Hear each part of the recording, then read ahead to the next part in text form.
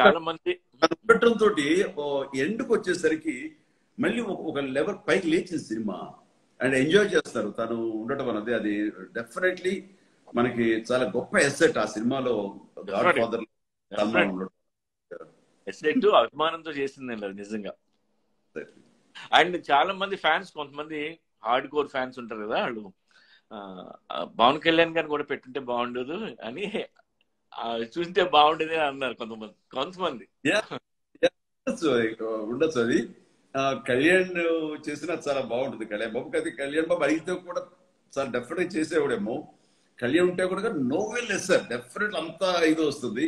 But on the whole India లెవెల్లో మనం దీన్ని తీసుకువెళ్ళాలి. అండ్ అతను సౌత్ బ్యాలెన్స్ చేసేలాగా ఉంటే బాగుంటుంది అన్న ఆలోచనకి బెటర్ ఆప్షన్ సల్మాన్ భాయ్ అనే అనిపించింది. ఈ ఐడియా చెప్తే పవన్ కళ్యాణ్ సార్ అన్నయ్య నాకంటే కూడా సల్మాన్ గారే బాగుంటాడు అనుకుంటే తనే అనొచ్చు. అదే అదే రకంగా కూల్ డ్రింక్ మీ ఇద్దరం చేసినప్పుడు బ్యాంకాక్ వెళ్ళాం.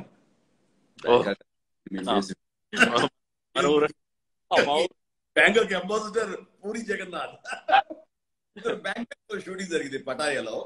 అక్కడ తను నేను సుష్మిత షేన్ మీ అందరు కలిపి చాలా రోజులు స్పెండ్ చేసినప్పుడు ఎంత ఇష్టపడేవాడు అంటే అంత ఇంత కాదు అసలు.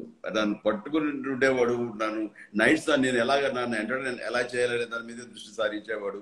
Very balm person very balm person అందరూ అంటే చాలా కోపిస్టి చాలా ఇది అంటారు కానీ నాకు మాత్రం ఒక మంచి ప్రాణ స్నేహితుడు. చెప్పాలంటే ఒక తమ్ముడు లాంటి భావం కలిగించే ఒక మంచి మనిషి కనిపించాడు నాకు.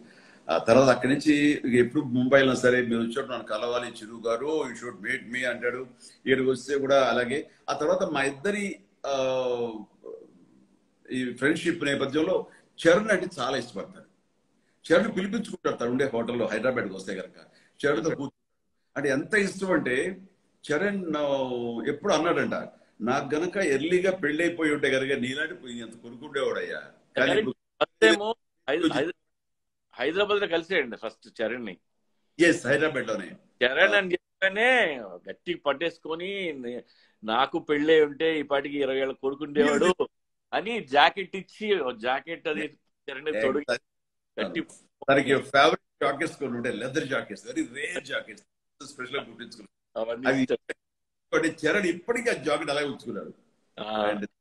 ఎప్పుడు వెళ్ళినా సరే అట్లాగే ఆ, తన పేరు మీద కొన్ని సల్మాన్ ఖాన్ బ్రాండ్ ఇవి ఉంటాయి పెర్ఫ్యూమ్స్ అవి. యా అలాంటి అలాంటివి కూడా మాకు ఇచ్చేస్తుంటాడు.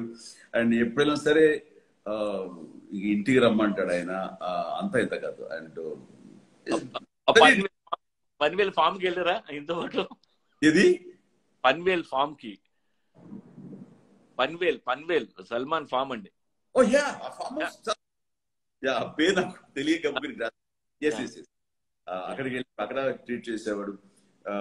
వెరీ అసలు. ఇట్స్ వెరీ వామ్ పర్సన్ అండి. బంగారం. ఇన్సిడెంట్ చెప్పాలి ఇప్పుడు దాని విషయం మీద.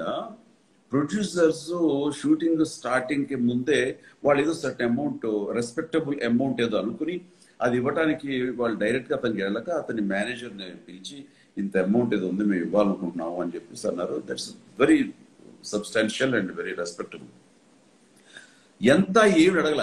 ఏంటి? నాకు రెమ్యులేషన్ ఈ క్యారెక్టర్గా గాడ్ ఫాదర్ క్యారెక్టర్గా నాకా హౌ డేర్ అంటూ ఏదో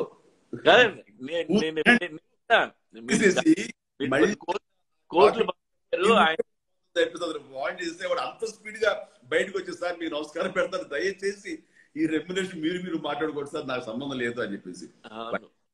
ఆ విషయంలో మాత్రం అస్సలు లేదు. బట్ చరణ్ అన్నాడు డాడీ దానికి మనం రెస్పెక్ట్ ఇవ్వాలి. కానీ తనకి ఇష్టమైంది ఏదో ఒకటి ఉంది నా దృష్టిలో. అండ్ అంత ఇది నేను డెఫినెట్గా అతని బర్త్డేకి అది ఇస్తాను. మన తరపున మన గాడ్ ఫాదర్ తరపున అన్నాడు. I think he take care of that such వాళ్ళందరూ ప్రేమ కోసం చేస్తారు.